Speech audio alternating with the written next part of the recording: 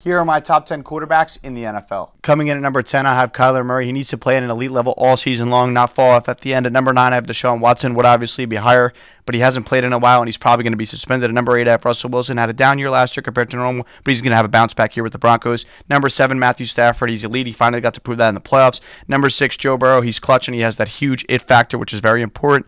Number 5, Justin Herbert. Crazy talented, my MVP pick this year.